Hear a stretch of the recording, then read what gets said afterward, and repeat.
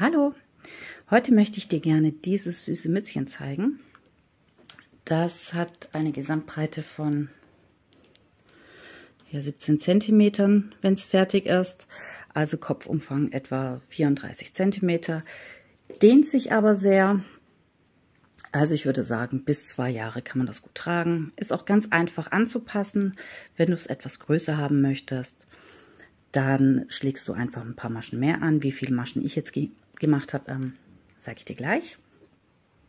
Und dann strickst du einfach ein paar Reihen mehr ähm, bis zu den Abnahmen.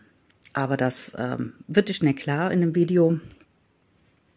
Wie gesagt, ähm, ja, ab drei Monate bis etwa ja, zwei Jahre würde ich sagen. Und anpassen ist gar kein Problem. Das Schleifchen wird später noch hinzugefügt. Und dann geht es auch schon los. Für das Mützchen verwende ich Babywolle. Die ist ein bisschen dicker. Und eine Nadelstärke 4,0. Später brauchst du natürlich noch eine Nadel und eine Schere. Und ich schlage jetzt als erstes 84 Maschen an. Also Maschenanschlag deiner Wahl. Ich mache den Kreuzanschlag. Also gehe zwischen die beiden Fäden rein, wickel mir den Faden hier rum und einmal um den Daumen. Gehe von unten durch die Schlaufe, hole mir den Faden durch und lasse die Masche auf die Nadel gleiten. Wie gesagt, davon mache ich jetzt 84 Stück. So, das war jetzt bei mir ganz knapp mit dem Faden. Und jetzt mache ich weiter mit rechten Maschen.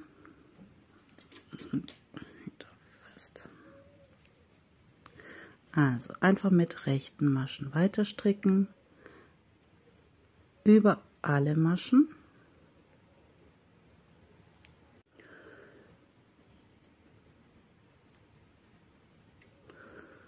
Die vier Nadeln sind ein bisschen stumpfer. Also den Maschenanschlag schön locker machen. Du kannst hier natürlich jede Wolle verwenden, die du möchtest. Achte aber darauf, je dünner die Wolle ist, desto kleiner wird das Ganze. Beziehungsweise, wenn du sehr, sehr dicke Wolle nimmst, wird die Mütze an sich dann auch etwas größer.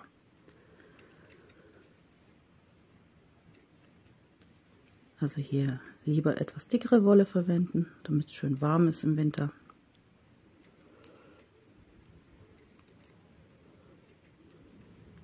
Und ich stricke jetzt erstmal hier alle Maschen weiter.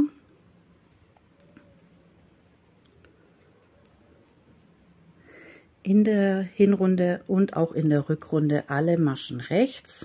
Insgesamt mache ich sechs Reihen jetzt. Sechs Reihen rechte Maschen heißt also Kraus rechts.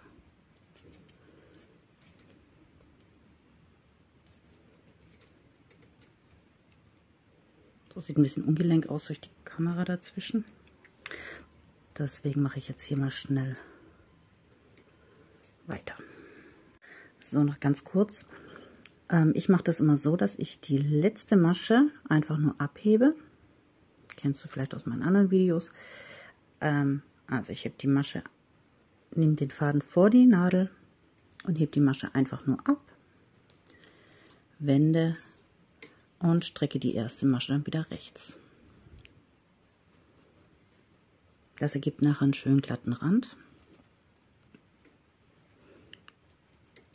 Sonst bekommst du an der Seite so Knüppelchen.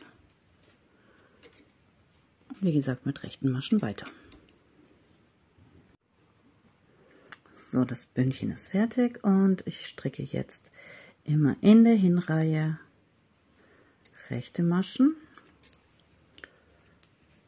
und in der Rückreihe linke Maschen.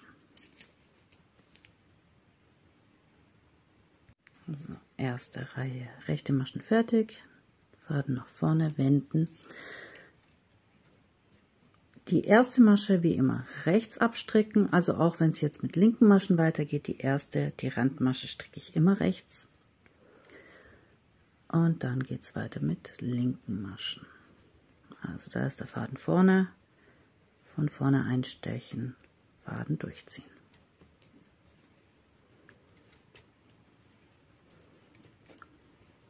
Das ergibt dann ein glatt recht, äh, recht, rechts gestricktes Maschenbild. Oh Gott.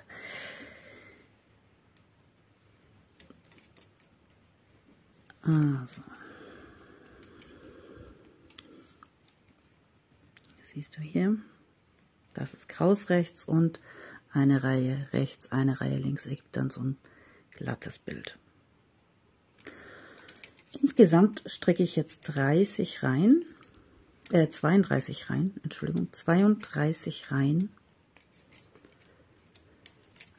glatt rechts, also 16 mal hin in hinreihen in rechten Maschen und 16 mal zurück mit linken Maschen.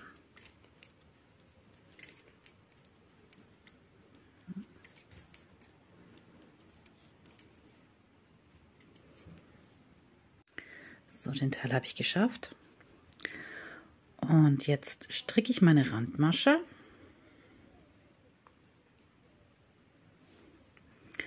Und die nächsten beiden Maschen stricke ich rechts zusammen, steche aber von hier vorne ein.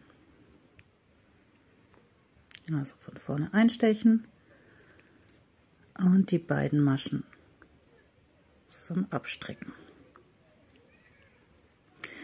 Dann geht es normal weiter mit rechten Maschen. Bis drei Maschen vor Ende der Reihe.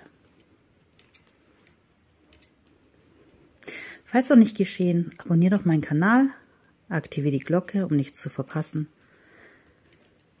Und schau doch mal in meine Playlists rein. Ich habe noch ganz viele andere Videos. Und so bekommst du die neuesten kostenlosen Videos direkt angezeigt.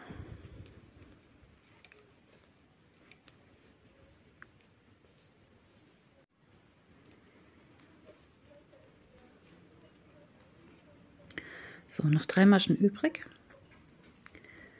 Und die beiden Maschen vor der Randmasche stricke ich jetzt auch wieder zusammen. Jetzt steche ich aber von hier hinten ein. Hm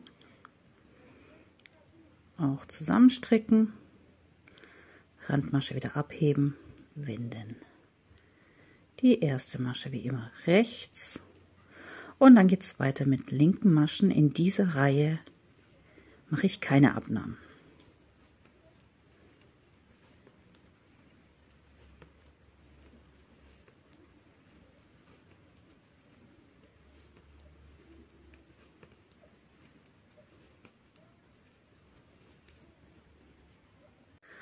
Und in der Hinreihe jetzt wieder, wir stricken wieder mit rechten Maschen, wieder die ersten beiden Maschen nach der Randmasche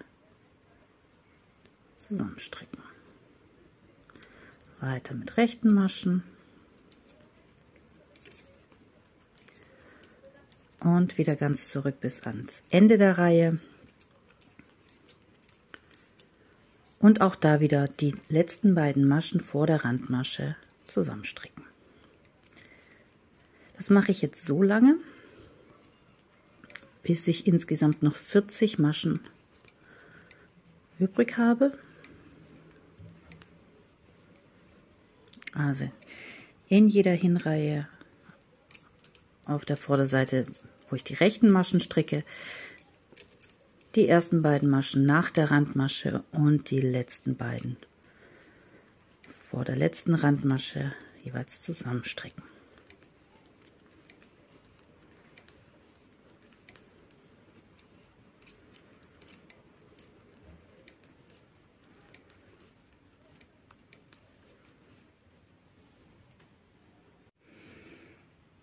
So sieht das bei mir aus. Ich habe noch 40 Maschen übrig. Und jetzt kette ich alle Maschen ab. Heißt, ich stricke zwei Maschen zusammen. Setze die neue Masche zurück auf die erste Nadel und stricke diese dann mit der nächsten Masche wieder zusammen ab.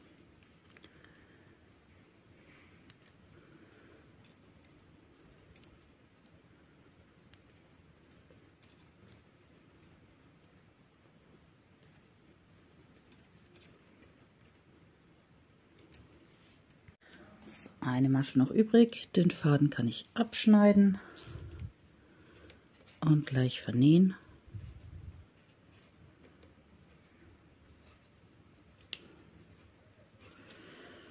So, das ist jetzt das Mützchen. Und bevor ich das jetzt vernähe, arbeite ich gleich noch die Schleife. Und dafür schlage ich jetzt erstmal 24 Maschen an.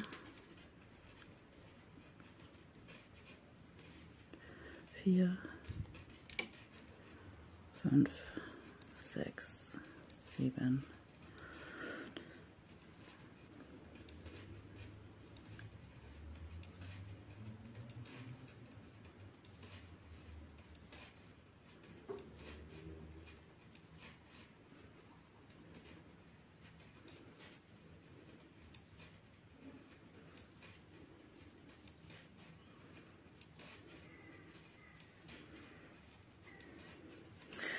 und stricke weiter in Kraus rechts.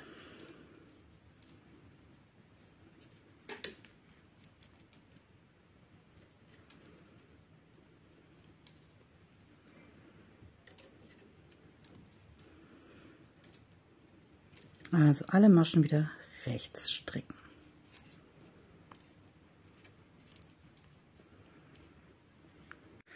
So, bis ich jetzt hier 39 Reihen habe, die 40. Reihe, letzte Rückreihe ist meine Abnahmereihe. Also insgesamt 40 Reihen hochgestrickt bei 24 Maschen angeschlagen. So, und hier habe ich das zweite Teil für die Schleife. Dafür habe ich 8 Maschen angeschlagen und ähm, 28 Reihen gestrickt. Ich werde gleich die Fäden vernähen. Vorab wollte ich noch zeigen, bevor ich das Ganze jetzt äh, hier zusammennähe, wie groß das Mützchen jetzt eigentlich ist. Also nicht, hat sich hier so ein bisschen eingerollt, aber es ist, Moment, in der Breite ja, knapp 40 Zentimeter.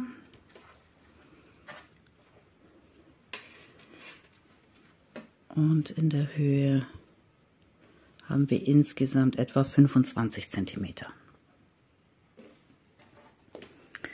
So, ich werde jetzt kurz meine Fäden vernähen und dann geht es weiter. Also noch ein kleiner Tipp, wenn der Faden so kurz ist wie hier bei mir, dann vernähe ich den einfach mit einer Häkelnadel. Denn das reicht jetzt nicht, um den Faden auf eine Nähnadel ähm, einzufädeln. Und dann behelfe ich mir einfach so.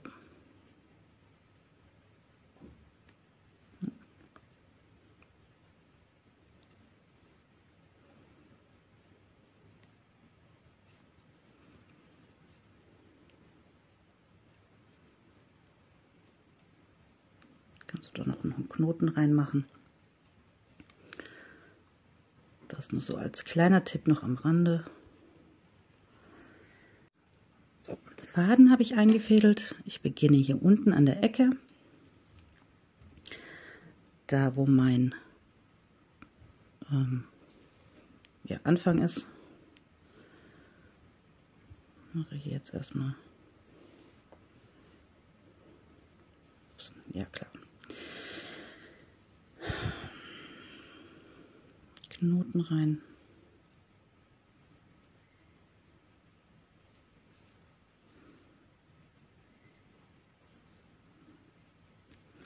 Und gehe jetzt hier am Rand Masche für Masche durch.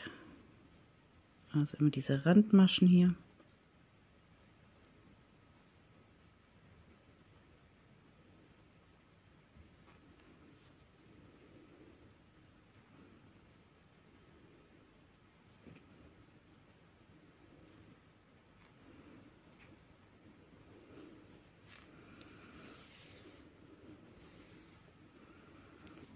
Und zwar einmal ganz komplett rum, bis ich wieder hier an der anderen Seite angekommen bin. Also wirklich.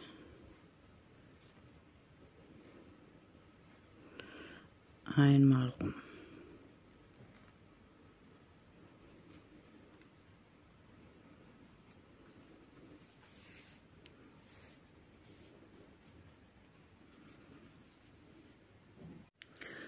Und jetzt wird das Ganze hier zusammengezogen.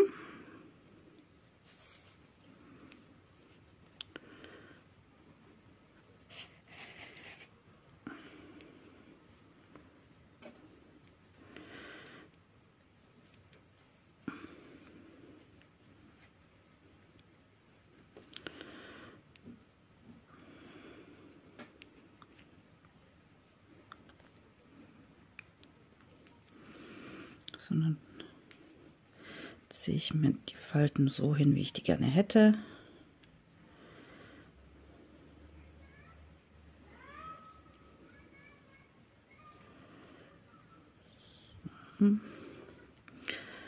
Und vernähe dann auf der anderen Seite.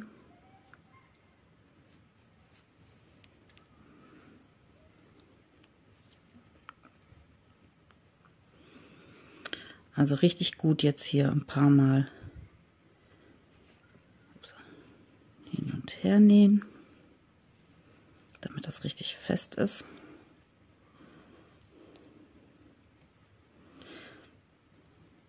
Keine Sorge wegen einem Löchlein in der Mitte oder ja, wegen einem großen Loch in der Mitte. Ähm, das verdecken wir gleich mit der Schleife.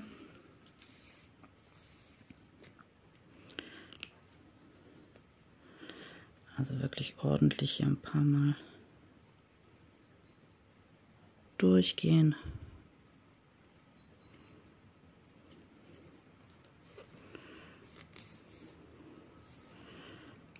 Damit sich das hier nicht öffnen kann.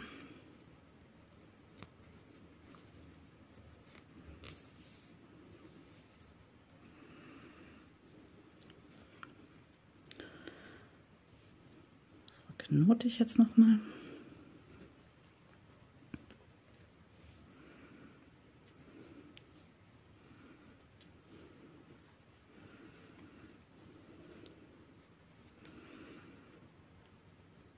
Und kann den Faden dann anschließend hier gleich vernähen.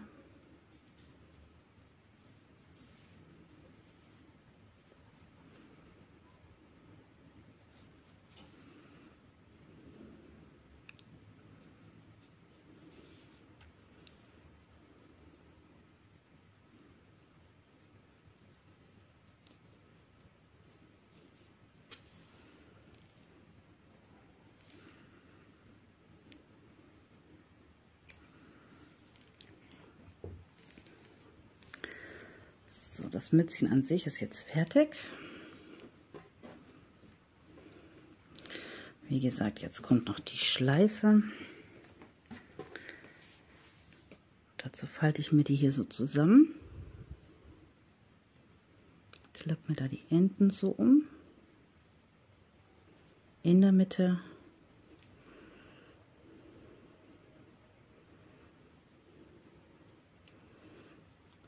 so wirklich die Mitte hier erwischt.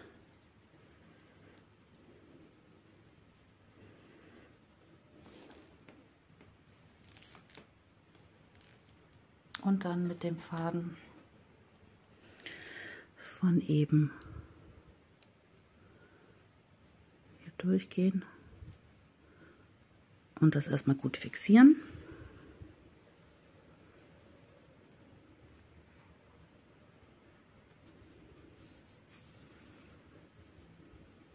Nochmal prüfen, ob ich auch wirklich die Mitte habe.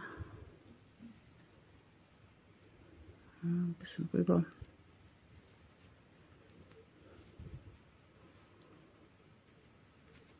Also hier die. Das hier einfach so umklappen.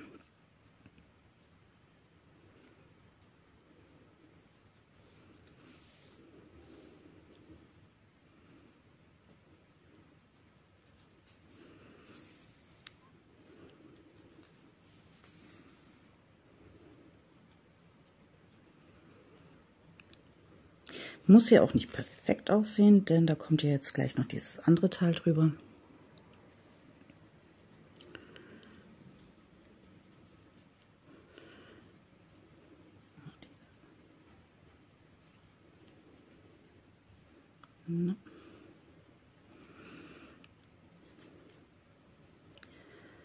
Drum wickeln, so dass hier wie gesagt eine hübsche Schleife entsteht.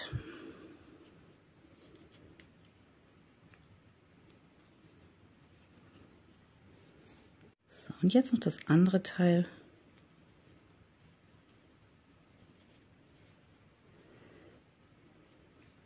Um die Mitte und auf der Rückseite vernähen.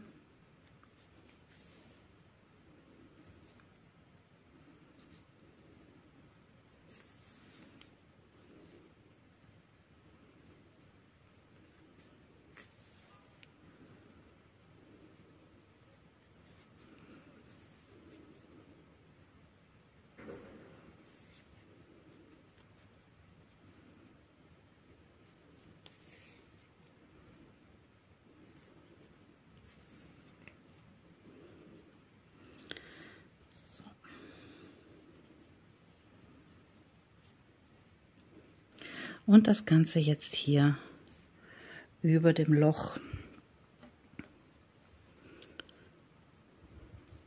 festnähen.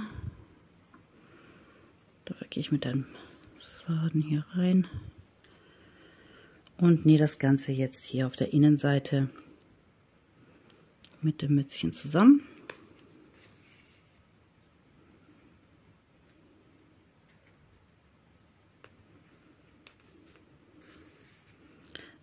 Vernähe die restlichen Fäden und dann bin ich auch schon fertig. Und so sieht es dann fertig aus. Ich möchte mich bedanken fürs Zuschauen und viel Spaß beim Nacharbeiten. Bis dann.